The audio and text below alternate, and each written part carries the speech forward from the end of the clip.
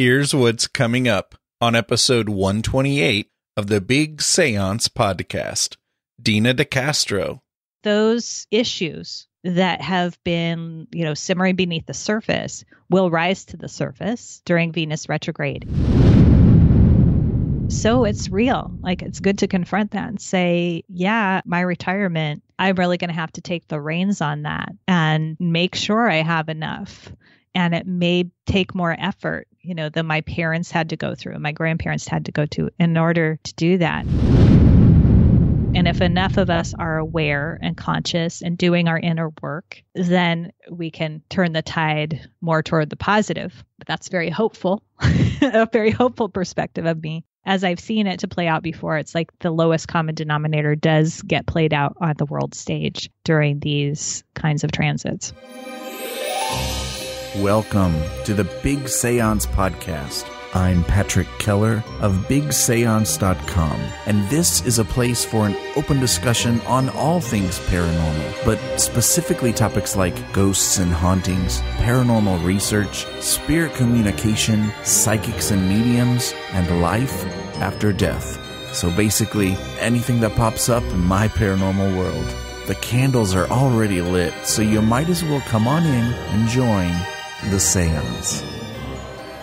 Well, the last time we were all in the parlor together, Dr. Julia Mossbridge and Theresa Cheung were blowing our minds with their new book, The Premonition Code. And they were very excited about their upcoming positive precog training site. Well, it just went live a few days ago. And I wanted to let you know because I just know many of you will be wanting to sign up and start training. I also know Dr. Julia is very excited about the site.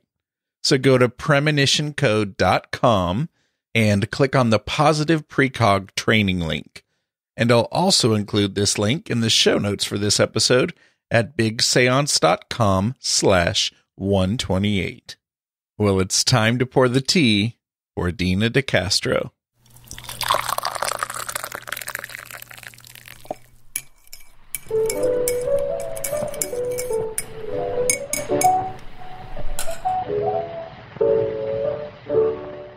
Well, today, possibly the guest who has made the most return visits to the parlor, although I haven't really counted. So, Karen A. Dahlman, I don't know. She might be ahead of you, and maybe I should just let you two fight for that one, fight for the seat. But uh, once again, our favorite astrologer, Dena DeCastro, is here in the parlor.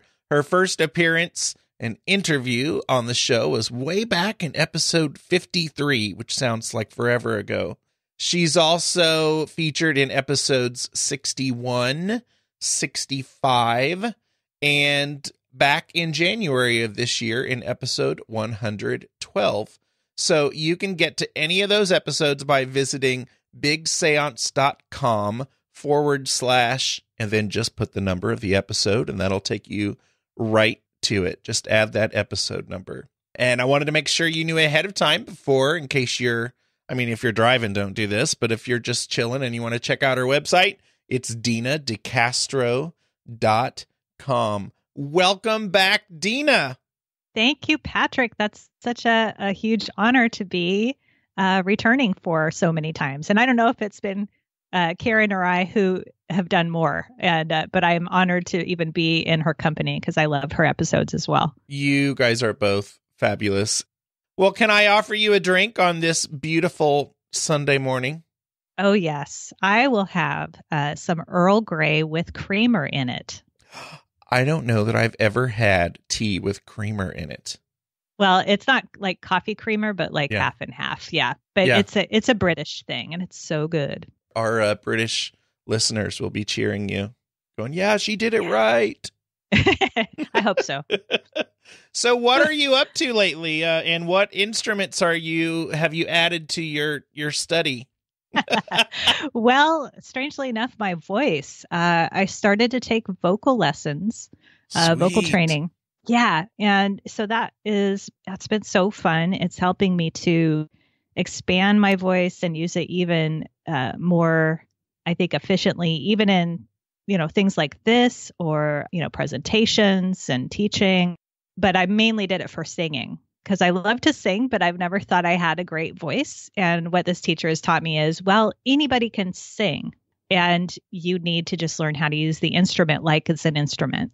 And she's giving me great tricks on how to do that. So that's been my passion lately. What's your go to style for singing? Oh, you mean like uh, the kind of music I Yeah. like?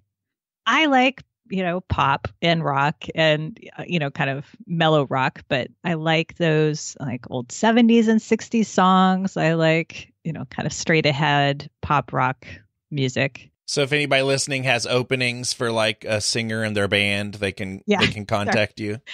If you have an opening in a 70s uh, cover band, you know, nice. see about where I'm at. Yeah. I love it. Well, you have quite a few updates for the upcoming months that you want to leave for us today. And I just told you we we could just do this uh, you know, presentation style and I'm excited to learn so much from you today. And at the end of the interview, or if they ever fit in with your presentation, um, I'm excited to have quite a few questions that listeners have submitted for you from the big seance parlor. So Great. even if if if I just decide that I am a dummy and have no questions, they've got my job taken care of for today. That's awesome. Yeah. I always love uh, the listener questions. so what do you have for us today? What do we need what what do we need to know for upcoming months? All right. Well, here's what's coming. Um, first off, Venus retrograde. And this is really where my main focus will be uh, for our talk tonight. Um, this is Venus retrograde, which happens about every year and a half, and it lasts for 40 days each time. And so people know a lot about Mercury retrograde, right? And I probably talked about that in past episodes where, you know, Mercury retrograde happens so frequently that most people are familiar with it, even if they're not that familiar with astrology. Uh, Mercury retrogrades happen three times a year for three and a half weeks each time, every three and a half months. So it's a pretty reliable kind of clock. Say, oh, Mercury retrogrades coming right around the corner at some point, right? But with Venus retrograde, since it doesn't happen as frequently, people are not as familiar with its energy, but it is regular. You know, it is this every roughly year and a half pattern. And so what it means is that technically, you know, from the Earth's perspective, Venus appears to be moving backwards uh, through the zodiac. Symbolically, what it means is that the qualities of Venus, which are connectivity, which are, you know, our desire to reach out and connect with others, uh, Venus is also about relationship and partnership, not just romantic relationship, but any close one on one relationship. Venus also rules finances. We're going to talk about that. We'll get into what does it mean as it pertains to finances when Venus is retrograde. And Venus rules also the means by which we uh, kind of calm ourselves down and soothe ourselves and find pleasure. You know, the Venus in our chart relates to all of those things. And then transiting or moving Venus in the sky tells us, well, what how do we relate to those things right now, depending on what Venus is doing. Retrogrades are times that, you know, when the planet's appearing to move backwards, it's saying it's time to be more passive and reflective in this area rather than moving forward. It's a time to turn inward for answers rather than outward. So we do a lot of self reflection. And so, you know, the first piece of that we could say is that it's a time to reflect on our relationships and to assess how are these relationships working? You know, how is our main partnership working? Do we need to make adjustments? Do we need to have uncomfortable conversations? You know, which we're going to see with part of the time Venus is moving through Scorpio, a time of, you know, uh, a sign of confrontation and some intensity. Venus is, you know, saying also it's time, retrograde, also time to reassess our values and the things that we value most, both in relationship and then possessions wise, you know, as it relates to finances and resources. So there's a lot of, you know, time with Venus retrograde to do a kind of taking stock and inventory of our relationships, our monetary situation, and also how are we finding comfort in our lives? How are we finding pleasure in our lives? you can see how those things are related that relationships and partnerships and friendships, close friendships, and the other piece of Venus, which is money, possessions, uh, resources, are connected to how we find pleasure and how we find comfort and how we find uh, how we calm ourselves down. You know, we do it through connecting with people that we love, and we do it also through uh, connecting with things that we love, connecting with the the things that bring us pleasure, the simple pleasures of life. On a technical note, Venus rules two signs, Taurus and Libra. And Libra is the sign of relationship and partnership. Taurus is a sign that has to do with the earthy part of it, you know, the money, possessions, uh, resources. And so you can see where Venus has these two faces we don't often always think of Venus as a planet related to money and resources, but it actually is. So this retrograde time, it's what is it about? You know, usually Venus when it's retrograde, it's its natural inclination to to connect and to reach out uh, is subdued a little bit, and so we turn inward. And so, you know, Venus makes us naturally want to uh, soothe or to harmonize with other people. And it's the force that makes us want to, you know, smooth things over and, and be diplomatic normally. But when it's retrograde, think of that aspect of Venus being taken away a little bit. So this veil is lifted. And in our relationships, we're not so naturally diplomatic. Things that have been pushed, you know, under the rug for a while will come to the surface. And this doesn't sound like great news for people sometimes when they hear this coming down the road. They're like, oh no, all this stuff is going to go down in my relationship. Well, it depends on how you've been living in that relationship. It really depends on how, um, and I want to say again, this is not just about romantic partnership, although it is about that, but if you're single, this could also be about significant friendships in your life or significant family relationships, like a close sibling. Uh, that those issues that have been, you know, simmering beneath the surface will rise to the surface during Venus retrograde. But look at it as an opportunity to resolve those issues and to get closure on things that have been bothering you or, you know, one or both of you in the relationship. So it really is an opportunity to do that. Now, most people don't enjoy confrontation, you know, or enjoy bringing up uncomfortable things, right?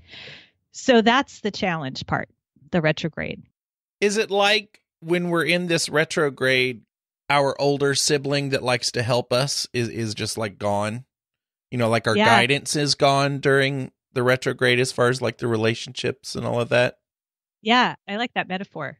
That's really good. I mean, it's like um, the force that usually keeps us uh, wanting to make things peaceable and mm-hmm. you know don't rock the boat. You know that part of, of Venus is diminished somewhat when Venus is retrograde, and so there's less inclination for us to uh, to be s- smoothing things over.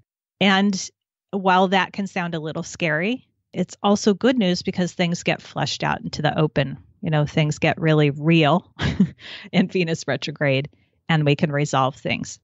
There can also be a theme with Venus retrograde of old relationships coming back into our lives. So again, that's a thing where people freak out when they hear it. it's like, I don't want my old love coming back. I don't I don't want to see that person. yeah. uh, it's again not always about old flames or old loves. Now that could be good news, right? For some people too. They might have an old flame that they want to reconnect with and that person comes back in.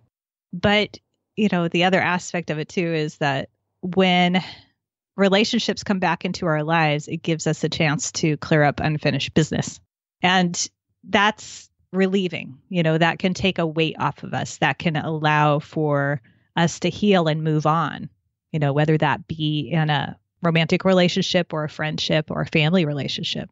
I actually had this happen. I'll tell a little story here that um, so I had a brother that I was out of touch with and still am for many years. And during the Venus retrograde of 2012, he came back into my life after seven years of not having any contact.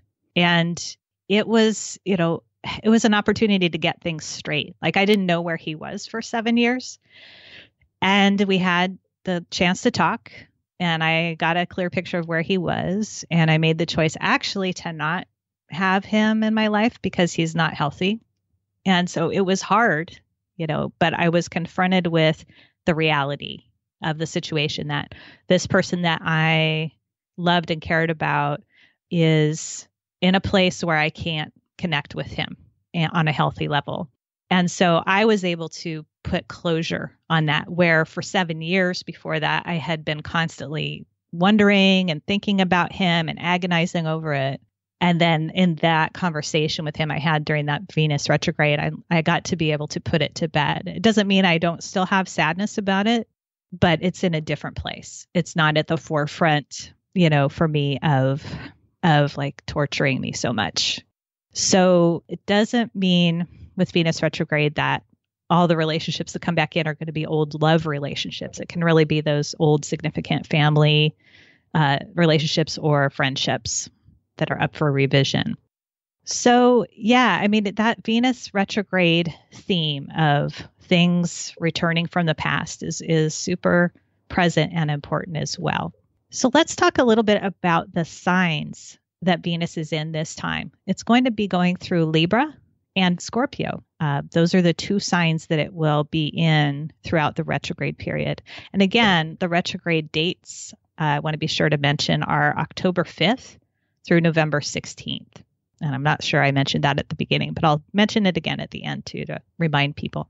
So when Venus is retrograde, it spends a longer than normal period in the sign or signs that it's traveling through. And so it's spending extra time in Libra and Venus. Usually it takes about three to four weeks to move through a sign, but now it's spending almost two months in each of those signs total.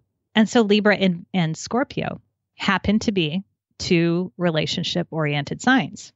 Okay. So I feel that this coming retrograde will be more focused on partnerships and even more intimate relationships and sexuality and intimacy than it normally would because of its traveling through Venus and Scorpio. So Libra has more to do with the ritualized aspects of partnership, you know, the agreements we make in order to work in harmony with another person. Um, Libra is oriented toward connection. And Scorpio is a sign that has to do with intimacy and sexuality. So it's that deeper connection and relationship. So while Venus is retrograde in Libra, it asks us to look at the balance of uh, give and take in our relationships. It asks us to say what's fair and what's not fair here. Okay, that can bring up an uncomfortable set of questions for some of us. Again, not just your primary partnership, but look at your friendships. You know, where are you either feeling that you're leaning too much on someone else or they are leaning too much on you? And it's a good time during the Venus retrograde to readjust the balance to say, okay, let's make this more fair. Let's divide um, the balance of power more equally here. And what do we need to do to in order to do that? So that theme of difficult conversations comes up, right? Especially if you have to tell somebody, I don't feel this is fair, you know, mm-hmm. the way that it's set up here. I'm giving more in this, or even for somebody to have to honestly admit to themselves, hmm, I've been leaning on this person too much. I might need to be more self sufficient here. You know, that can be an even more challenging uh, place to get to, right? But huge growth can come out of that for the relationship and for yourself. I might have a conversation with a few students about this. really? At school. So, have you heard about this Venus retrograde? Because I think you need to start advocating for yourself a little bit ah, uh-huh. So there is a little bit of leaning on you going on, right? Or other students, you know, it's like uh, you know, Billy Bob is not going to always be with you the rest of your life to mm-hmm. answer for you or solve your yeah. problems or you know, come hug you when you're having some drama. He's not always yeah. going to be there. it's not. That's such a good insight. It's like it's really easier to spot those codependent patterns um, when we're in Venus and Libra uh, retrograde, I believe. So you can even spot it in other people and say, yes. talk about that theme of let's have the uncomfortable conversation that what would it look like if you dealt with this by yourself, right? like what would it look like if you actually pulled on your big boy or big girl pants and you know took care of this on your own because sometime you're going to have to What if you didn't go to the guidance office for the 12th time today and just kind Yeah. of breathed Yeah. and, you know, asked yourself how you can solve this Yeah. problem? oh this is a great way patrick that you can use this knowledge to help your students there we go. Yes. i love it Either that or start a new podcast, Astrology for Educators. right you know not a bad idea because it's good to know what's going on um, in the stars as it's affecting your students. You're Mhm. going to see those themes play out in your Yeah. students. Yeah. So so then we have uh, for part of the duration, Venus is in Scorpio, right? And in fact, it's turning retrograde in Scorpio. So this is where uh, we're invited to look at, you know, what are our own blocks or fears regarding intimacy, going deeper in relationship, what's holding us back from showing up as our true self in partnerships and even friendships. Um, it's time to get honest with ourselves and others. And so, again, this may rock the boat, but the reward is that we feel relieved of the burden to be something other than ourselves, right? The retrograde periods of any planet, I think, are an opportunity to get a new perspective on things regarding the nature of that planet and also to free ourselves of burdens that we've been carrying uh, around the things ruled by that planet. So both of those are very much tied to okay, Venus retrograde in Libra. Let's shift the balance of power. Let's how do we make this more fair, or how do we stop being codependent, right? And Venus in Scorpio, which is well, what what are we afraid of uh, in terms of revealing ourselves, revealing our true selves to the other person. You know, it's time to get really honest and and have those uh, what I call you know hot conversations, where not necessarily hot sexually, but hot like oh it's you know uh, it's heated, right? It's not just matter of fact. You know, I'm just going to state the facts here. It's I have some emotional investment here, and I need to tell uh, my partner or my friend what is really happening inside of me. And that's scary to do. But you know that on the other side of those conversations, those hot conversations that we have with our our friends and partners, that there is uh, there's a relief. There's the availability of more passion and deeper connection and a renewed sense of why, you know, why am I in this relationship, whether it be friendship or partnership. Now, now, what happens if people fight this? You know, Yeah. advice. Like if people Right. hold back and don't have these conversations that are are Yeah. needed. You know, what happens then? That's a great, great question because our inclination is to do that, right? Just, I think human nature uh, across the board is that we we avoid conflict. I think it's more of a cultural thing, you know. In this Mhm. country, it's there's a politeness factor, and also we like stability. We avoid uh, uncomfortable change. We avoid uncomfortable conversations and directness.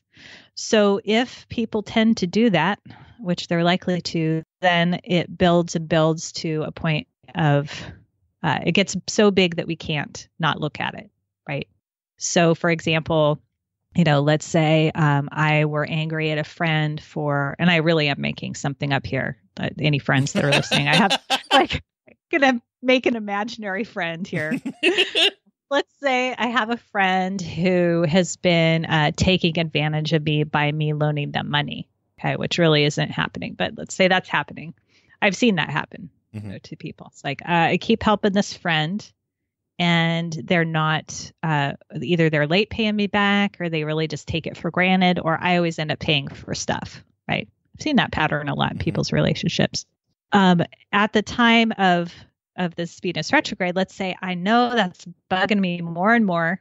I'm resenting it. I'm getting a lot of resentments building up, and it's it will interfere with the friendship if I don't say it. It will bring it to a breaking point. Either we will have a fight that it it just bursts out of me I bla- I say you're just such a mooch, you know, like mm-hmm. out of nowhere, and I come out the side of my neck, and the person is like, "What?" You know, I had no idea you felt that way. Um, the better way, or the the healthier way to approach it, would be to be proactive about it, to identify the pattern, and to say, "Okay, let's so let's sit down and have a conversation and i'm going to be real but i don't need to name call you know i don't need to yell at you but it could if we sit on it it could break the friendship you know if it goes that way and it doesn't need to you know it doesn't need to now on the other hand if i say to my friend in the productive way okay i feel taken advantage of sometimes or i feel like i'm just giving you a lot of material support and you're not giving anything back, then, and that person says, well, I don't think so, you know, then that's information for you that you have to act on. And that's also uncomfortable. It's like, well, then maybe this person isn't really my friend.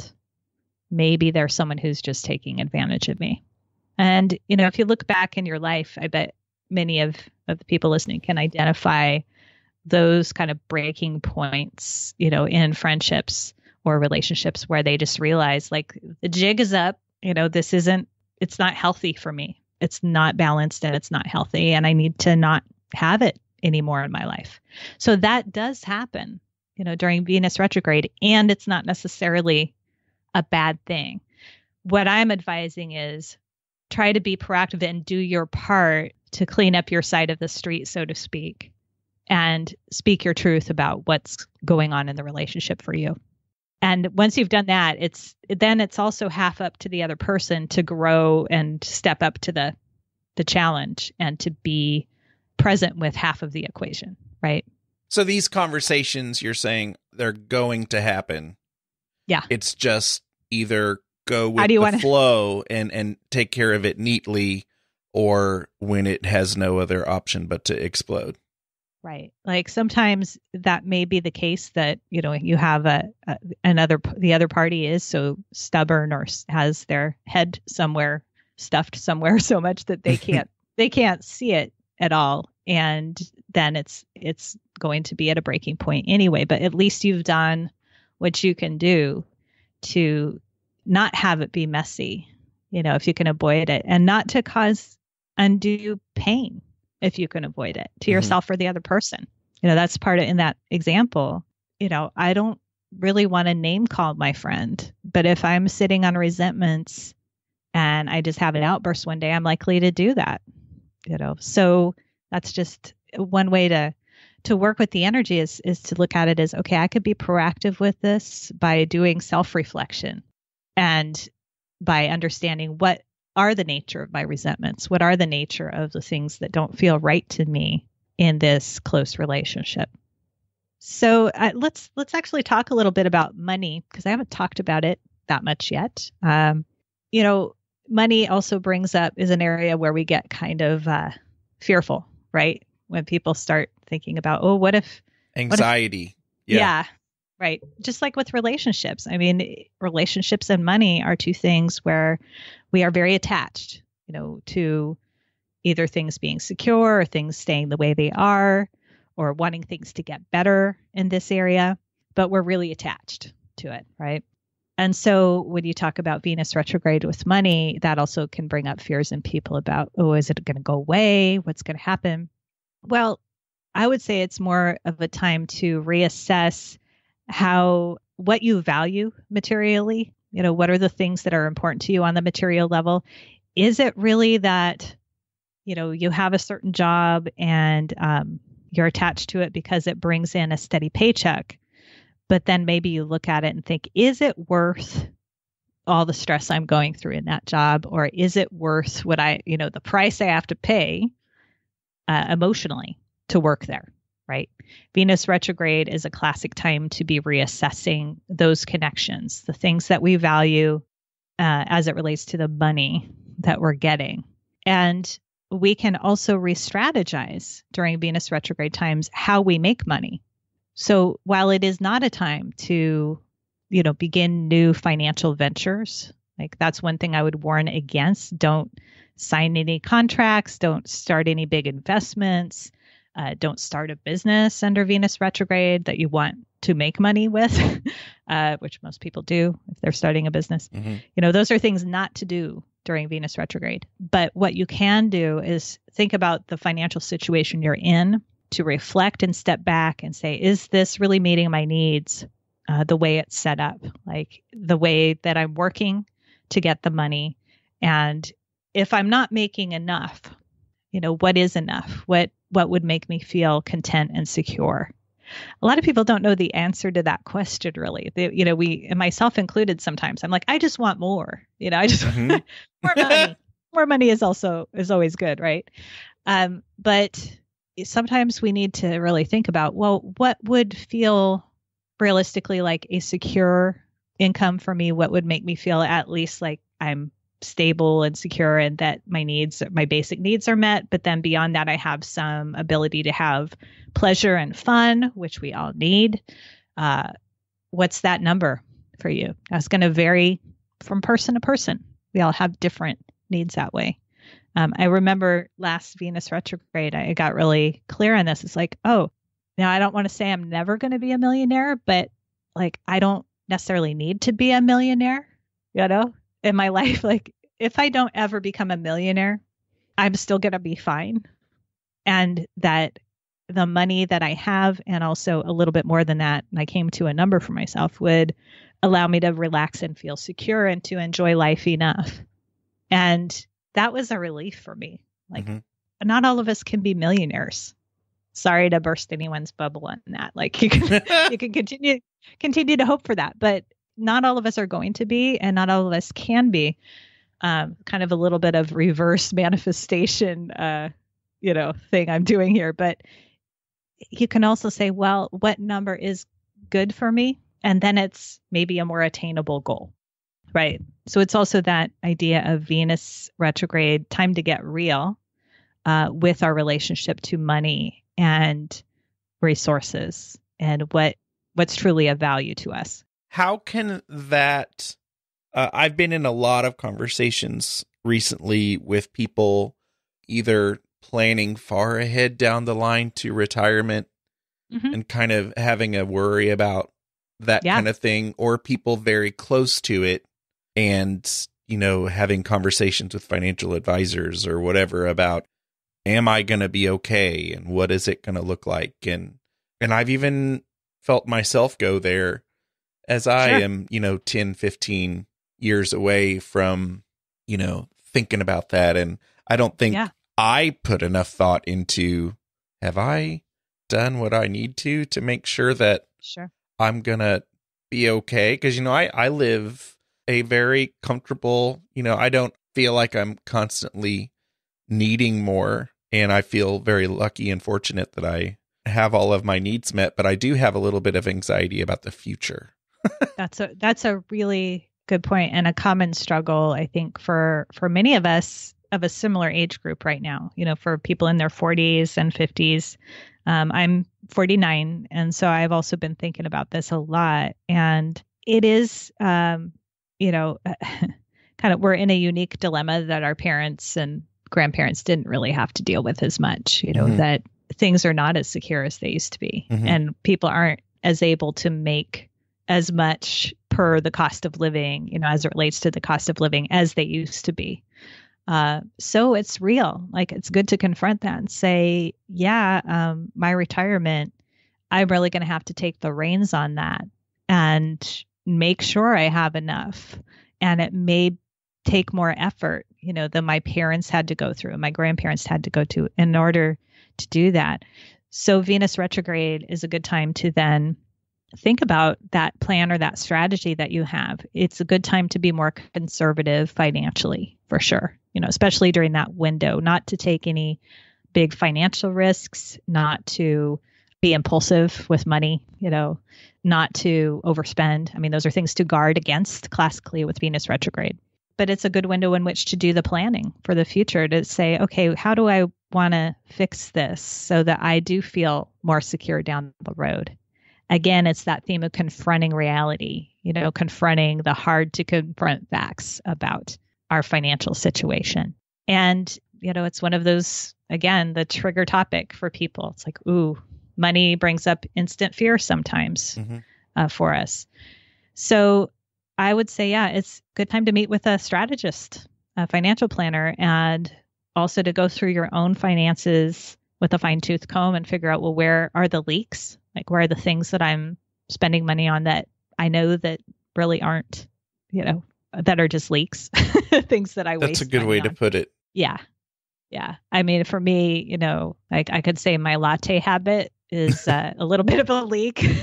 now it's a treat. It's a way I find pleasure for sure. Yeah. Uh, it can get out of hand though. It's like, oh, five dollars for a, you know, coconut milk latte. It's like, well, that's a bit much. if I do it a couple times a week, it gets out of hand.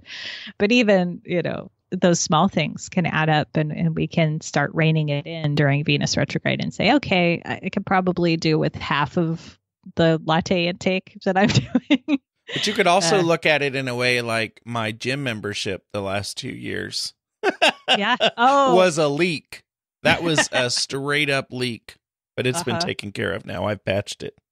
oh, good, good. You patched that leak? I did. Yeah. It's like use it or lose it, right? Yes. yeah, use it or lose it. Yep, it is time. I hear you on that. Yeah, it's like we've got again get real with like what's actually happening here. Am I actually going? Mhm. Yep. I will just mention also that right on the heels of this Venus retrograde, we have a Mercury retrograde right after it to kind of help us uh, rethink things even more. um, and so while the Venus retrograde is from October 5th through November 16th, then we have Mercury retrograde from November 16th through December, I want to say December 3rd, but I'd have to double check that. Um, and I think you can put all this in the show notes too. I'll send you these dates. Okay, excellent. Yeah, and just to note too, the time frames of Venus and Libra uh, that I spoke of. Venus is in Scorpio currently. Uh, it's going to turn retrograde in Scorpio and then re-enters Libra on October 31st through December 3rd, and then it will be in Scorpio from December 3rd through January 7th.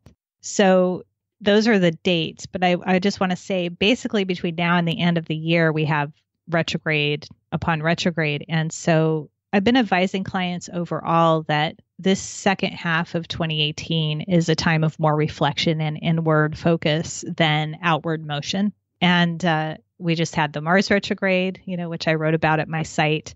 I also have an article called A Cavalcade of Retrogrades, you know, all of the retrogrades between uh, June and the end of 2018.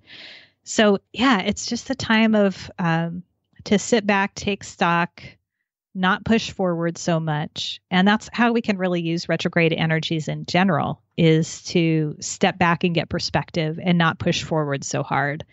Give yourself a pass if you feel like you're not making as much headway on things as you had hoped. You know, this can include uh, with Venus, like relationship oriented projects or uh, maybe business partnership things that you thought, oh, this is really going to take off. We're going to do this now. And maybe it needs to be delayed for a little while until the beginning of 2019. Uh, so it's a time to step back and take stock, not to push your agenda so much forward.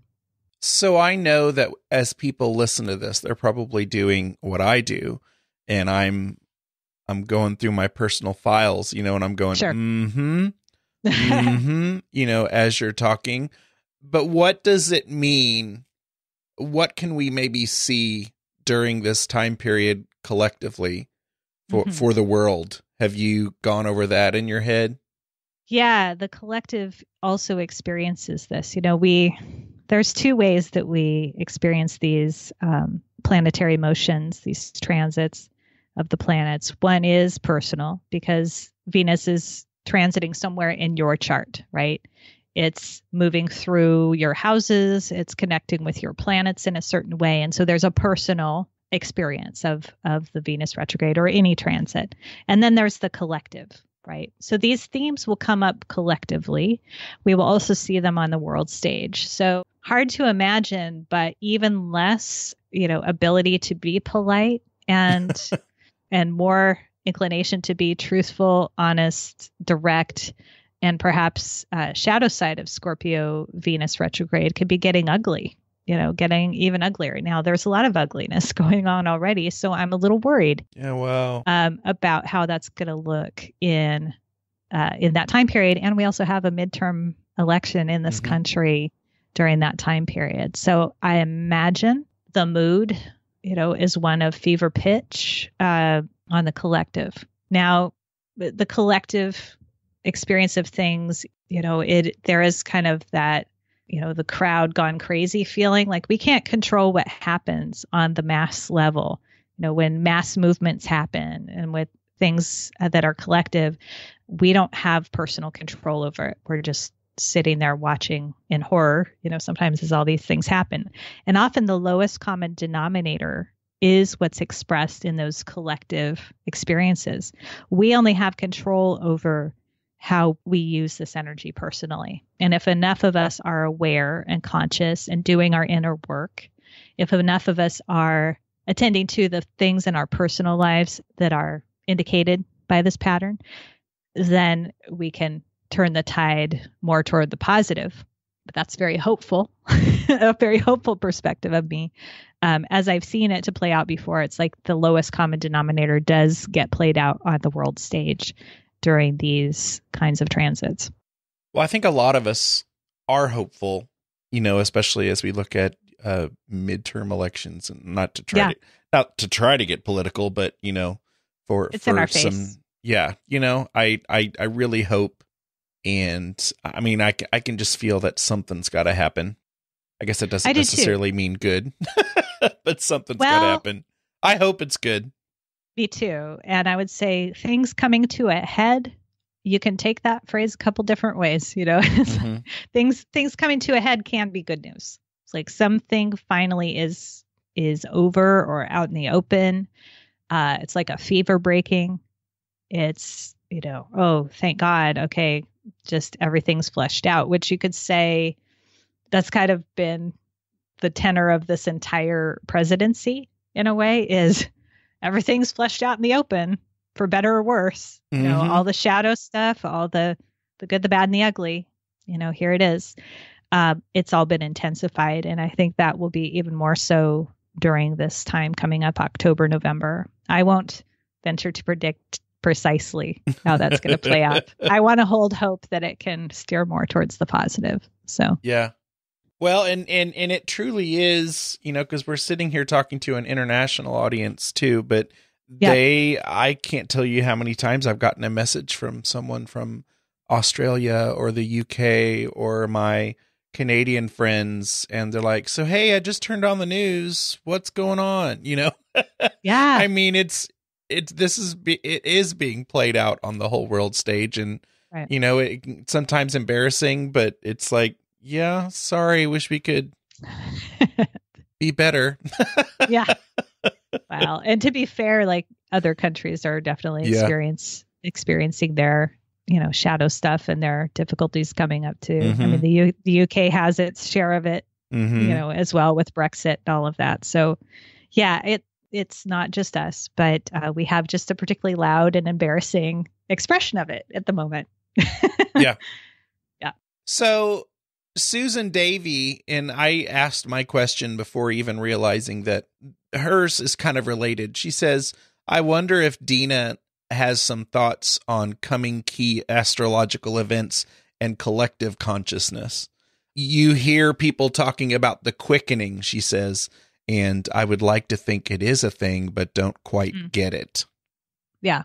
Well, this, yeah, this goes, you know, to there's some upcoming outer planetary transits in 2020 that are heavy hitters, not only in just in general, these planetary conjunctions, Jupiter to Saturn and Jupiter to Pluto and Pluto to Saturn, all of those planets lining up in Capricorn, a sign that has to do with governments and rulership and the structures of governments.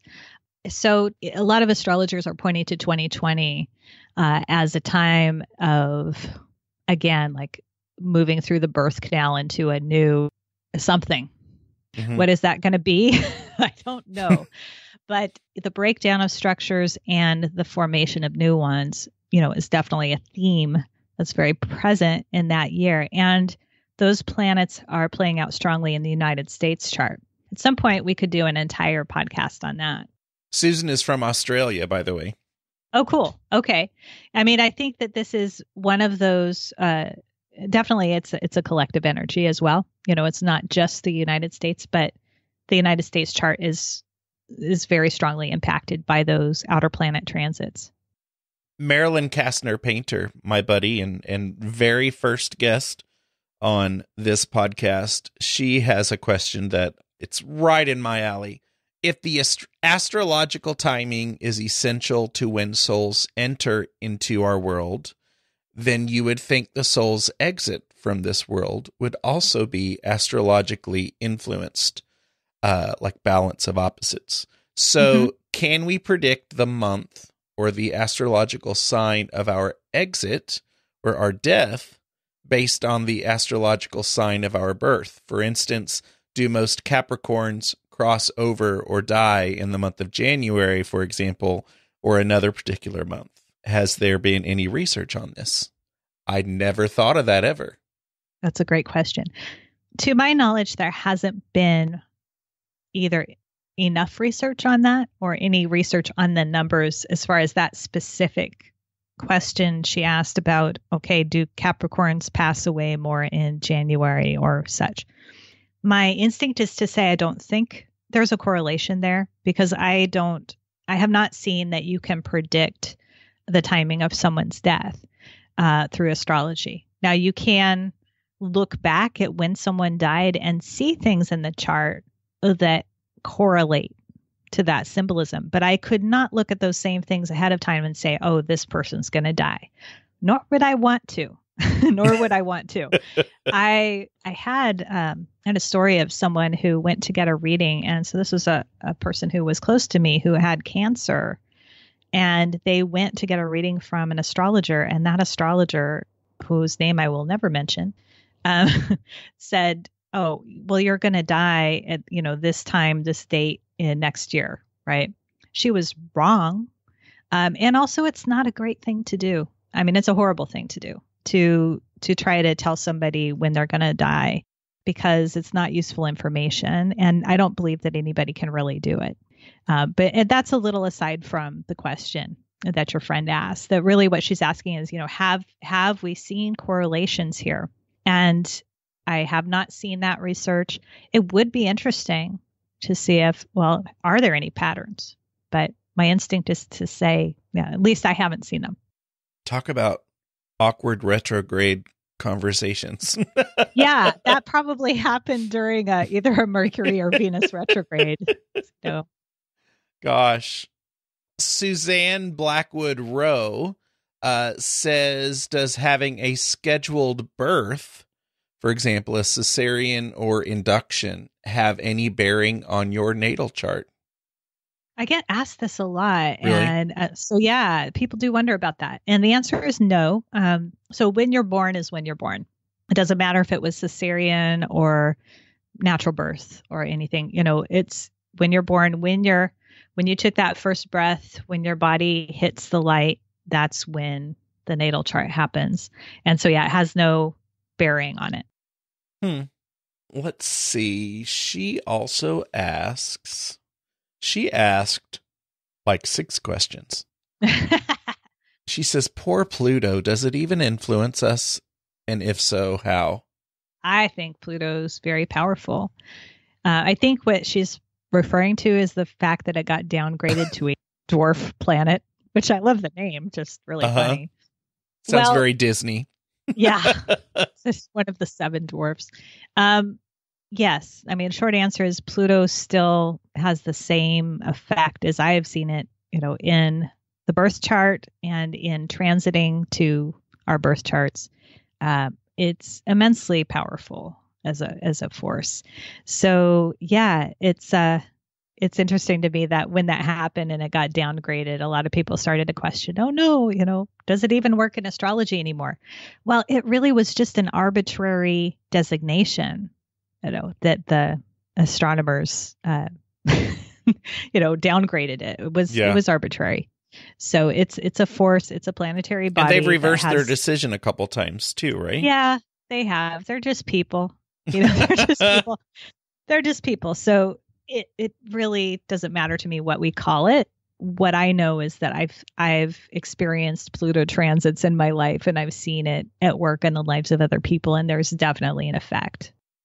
Now I don't even understand this one. She asks the twelfth house, Mm-hmm. and in parentheses she says of doom and reckoning. How can we view this constructively? I'm anxious Ah. to know what this is about. Oh, this is a question, especially for me, because I have uh, in my birth chart, I have the moon and Saturn conjunct in the 12th house. You know, astrologer people or, you know, astrology uh, aficionados out there will know what that means. But um, I, so I have natally, you know, placed planets in the 12th. The 12th house is traditionally called the house of troubles, the house, also the house of self undoing the house of hidden en- enemies. You know, those are the negative names for the 12th house. And so there's no getting away from the fact that there is uh, a, a lot of negative connotations to the 12th house. But it is also the house of spiritual connection. It's the house where we transcend ego and connect with something greater than ourselves. It's the house of, I would call it the house of the paranormal Mm, or mediumship you know it's our ability to connect with the other side or what's with beyond what's beyond the veil. And so uh, you know mystics or people who are open to things that other people can't necessarily see or what's beyond the five senses uh, they often have some 12th house energy in their chart. Um, how i've experienced it in my life is you know that feeling that sometimes i'm walking a little bit with one foot in this world and one foot in the other. You know i've always believed in for example past lives and ghosts and spirits. And you know that's just always been with me you know from a very young age. And i think it's because of that 12th house energy. That's why it's always been friends. an area of fascination. That's right. And i think you have some 12th you have some 12th house stuff in your chart too okay. I believe, if I remember correctly. Yeah, I'd have to take a second gander, but I think. Oh gosh, now I'm gonna have to go back and listen to that. yeah, yeah. So no house or planet in the chart is either wholly positive or wholly negative. And that's one of the big misconceptions about astrology in general that I want to dispel is that, you know, there are good and bad houses or good and bad planets or good and bad aspects. Uh, we have the power to choose how we play those out. And when we make choices in alignment with our uh, our life purpose and what we're here to do, we can transcend a lot of the negative and maybe, you know, that may be inherent in some of those place placements. So yeah, to answer her question, the 12th house is just as much the house of mystical connection, you know, as it is the house of troubles. Suzanne, I would be very curious to hear from you about, you know, where this question came from and and kind of, you know, how it might relate to your to your life and and what you think about Dena's answer. So either Yeah. in the in the parlor, I'd love to hear a see a comment or even email me about that. That's interesting. Yeah, yeah, I would love to hear more about that too. And perhaps I can speak a little more individually, you know, Yeah. to where she got that question in the parlor. I'll check in there. Well, Dena, I I love love love having you come to visit us and telling us what's what's in store astrologically for all of us. You know, leave us with with any final thoughts that you might have today and and send us away and uh that sounded weird. And and you know, let us know where we can find you and of course anybody can um, you know, contact you for more of a full reading to figure out how these retrogrades specifically, you know, might affect them and their world. So let us know how people can Yeah. get in touch with you. Yeah, and that's a really good point to leave on is that these retrogrades, uh, you know, Venus and Mercury, will be happening in specific areas of your chart.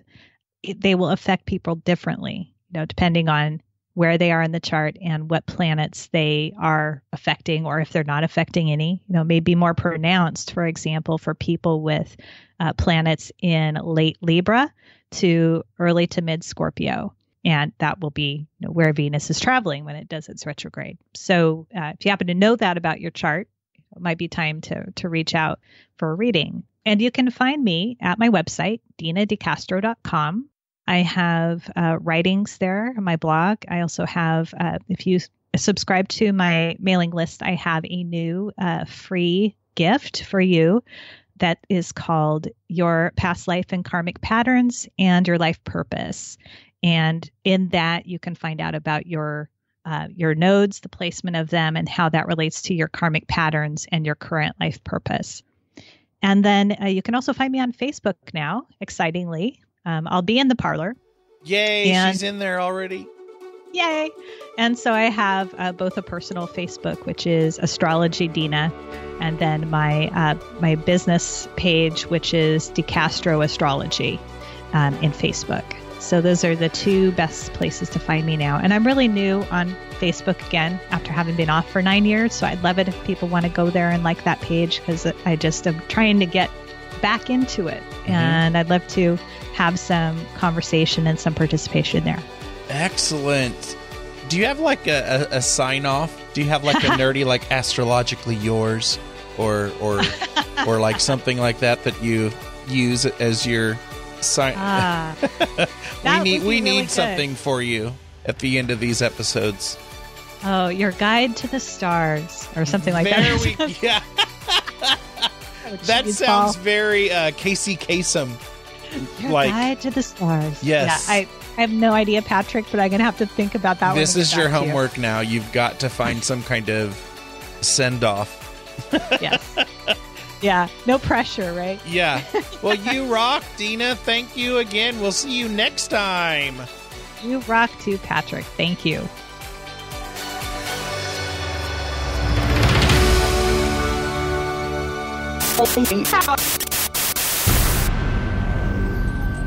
Thank you to the following super para nerds who support the show at patreon.com slash big seance. Genesis, Bianca Roth, Diana Lloyd, Natalie, Amy Park Gedicke, Sonia B., Jenny Becker, Kim Robb, Jim Budd, David Rubenstein, Josiel Lorenzo, Susan Davey, and Paula Mitchell.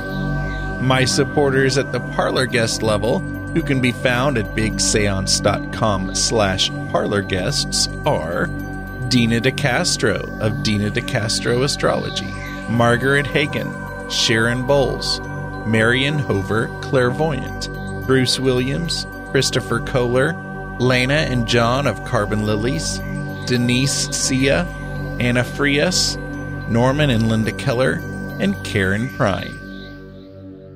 And we can't forget.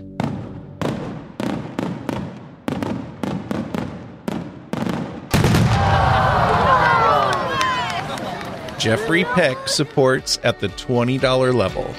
Thank you, Jeffrey.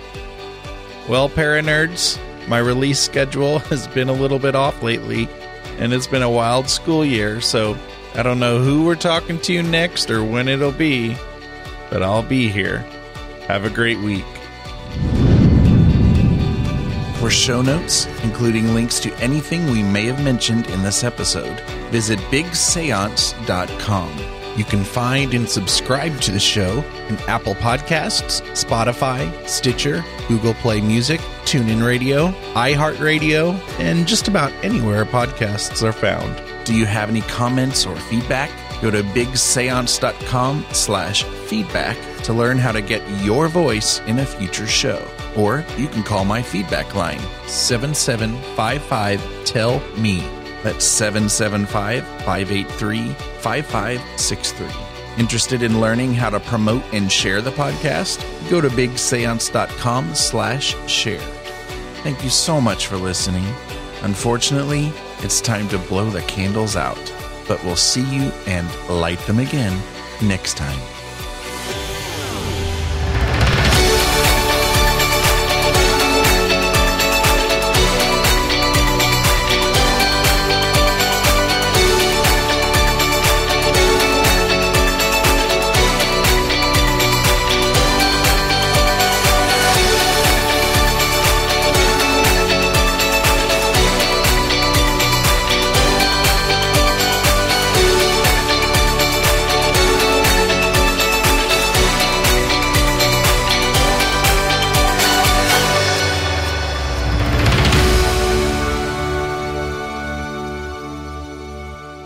If you made it this far, it might be because you're waiting to see if I remembered to add a Paranerd hashtag this week.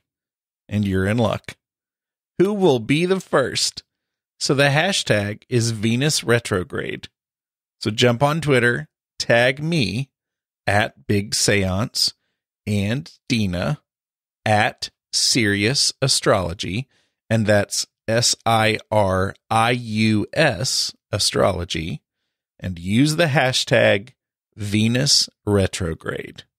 See ya.